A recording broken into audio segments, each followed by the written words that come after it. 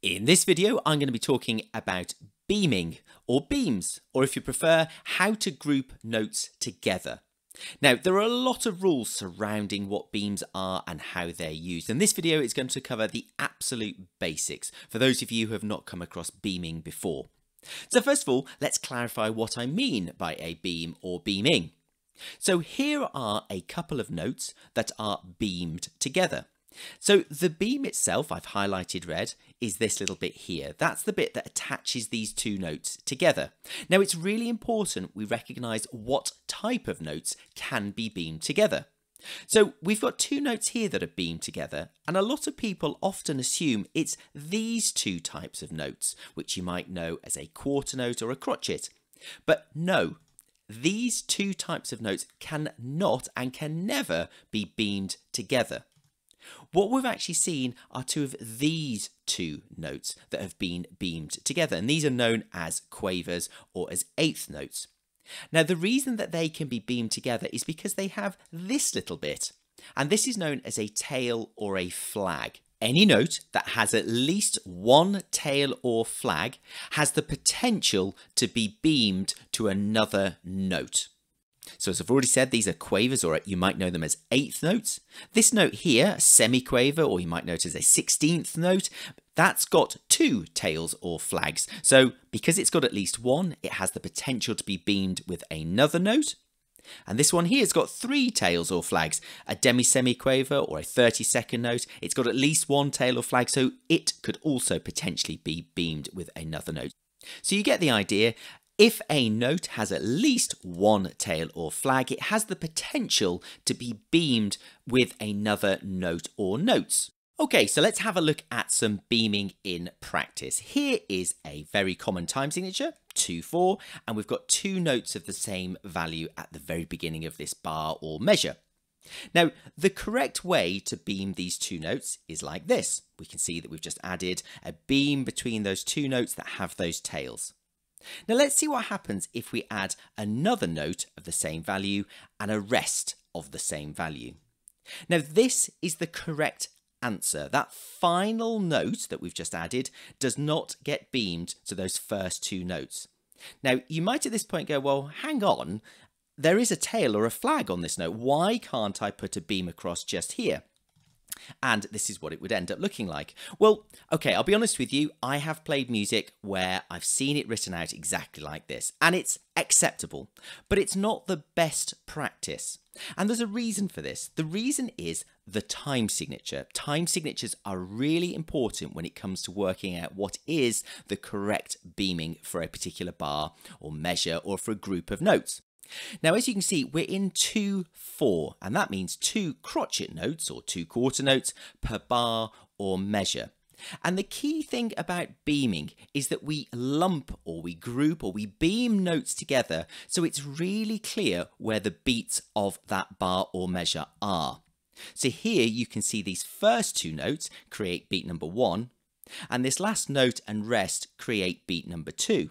If we were to beam these notes as I showed you a few moments ago, and as I say, it is acceptable, what would happen is, is that we end up with the beam we've just added cutting across those main two beats of the bars. You can see here we've got beat one, but beat two isn't made really clear to the musician. So if you were, for example, playing a piece of unfamiliar music and it's got a fast tempo or speed, it might make it a little tricky to work at where the main beats of the bar are. So it's really important with beaming. We think about the musician and how they're reading the notes and making it really clear for them so they can work out or help them work out where the main beats of the bar are. Let's stick with 2-4 for the moment and what we'll do, we'll change that final rest into a note of the same value, a quaver or an eighth note, and as we already know it's worth a half. So how are we going to beam this with the other three notes in that particular bar or measure? Well, one thing we can't do is definitely not do this. This would mean that three of the notes are beamed together and one of them just hangs all by itself. Now remember what we want to do with beaming is help the musician work out the main beats of the bar. Now those three that are beamed together, they're worth one and a half, and a quaver or an eighth note by itself is worth a half. So we've got this imbalance in the bar. It wouldn't be easy to read. So this is not the correct answer. Instead, this would be acceptable. But interestingly, at 2 4, if you've got four eighth notes or four quavers for the complete bar or measure, you can actually beam them all together. And what I'm going to do is put this sort of exception at the very bottom of the screen because we'll come back to that very shortly. Let's have a look at another bar or measure that's full of eighth notes or quavers. However, this time we're in 3 4. And we can, if we want to, beam the notes together exactly like this. Remember, 3-4, the time signature, means three crotchet notes or three quarter notes per bar or measure. And by beaming them this way, it's really clear where beat 1, beat 2 and beat 3 start. It's also worth bearing in mind, just like 2-4, that if you've got a complete bar or measure of eighth notes or quavers, you can actually beam them all together. Either way is correct, but what I will do, like 2-4, is put this example at the bottom of the screen because we'll be coming back to it in just a few moments. What is important is that we don't beam notes together like this. You can see that there are two notes beamed to here on the left and then four of them beamed together on the right. That makes it quite complicated to read. You can't also have this, whereby you've got four notes beamed together at the beginning and two notes beamed together at the end. This imbalance does make it quite tricky to read and isn't clear to the musician where the main beats of the bar are. So a moment ago, I gave you this as one option to beam the notes together, where they're all beamed together because the whole bar or measure contains eighth notes or quavers. I also mentioned a moment ago that you can't have an imbalance. So you might at this point be going, well, could I have this? Because we do have this equal spread of beaming on both sides of the bar or measure. Well, I'm afraid the answer is no. Let me explain why.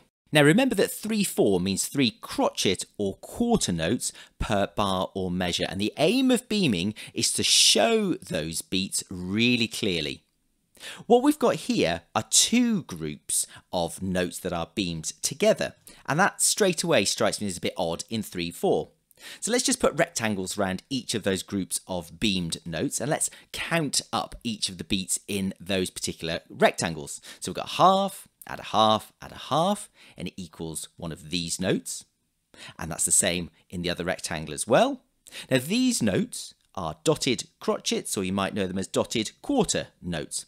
Whatever you call them, that is not the beat of 3-4. Remember, 3-4 is three crotchet or quarter notes per bar or measure. Something is amiss here. Now you might say, well, hang on, I've definitely seen three quaver or eighth notes beamed together in music before, and you'd be right, but not in 3 4. 3 4, you would not expect to see this, but you would in 6 8. And the reason for that is because in 6 8, it's made up of two dotted crotchets or dotted quarter notes per bar or measure, and this type of beaming would be absolutely fine in 6 8. Now we're getting a little bit complicated here. I said at the beginning I want to keep this as the basics. So we're going to just move across from 6-8 for the moment. But I just want to make you aware that it's really important that you're always thinking about the time signature and you're always beaming notes together to emphasize those main beats of the bar. So remember in 3-4, if you've got a complete bar of eighth notes or quavers, they can be beamed all together.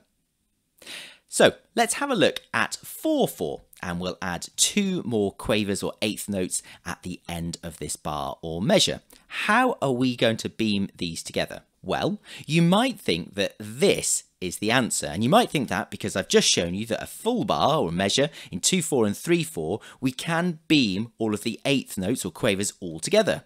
But unfortunately, this is not the case for 4-4. This middle part of the beam is not allowed. So this is what a complete bar of quavers or eighth notes in 4-4 would look like. And what I'll do, I'll put that at the bottom of the screen. What we have to pretend with 4-4 is that there is this imaginary bar line in the middle of the bar and no beaming is allowed to cross that imaginary bar line. So let's just change the note value slightly in this uh, particular bar or measure. This would be absolutely fine. What wouldn't be allowed is this, because that is cutting across this imaginary bar line that sits at the end of beat 2 and before beat 3. Nothing is allowed to beam across that imaginary bar line. So this would be the correct answer. Now, I do appreciate that I've just told you that beaming is all about emphasizing the main beats of the bar. And here we've got two groups of beaming that emphasizes beats one and 3. There are some quite peculiar rules, some quirks when it comes to beaming, and I'm afraid this is just one of those things that you just need to accept. This is one of the ways that you can beam notes together in 4-4. The important thing to take away here is that imaginary bar line, that nothing, no beaming crosses that imaginary bar line. As I said at the very beginning of this video, this is about the absolute basics of beaming, and I appreciate we've only really looked at quavers or eighth notes. For the moment, many thanks for watching, and if you've got any comments, please do leave them on my YouTube channel or please visit musictheoryvideos.com.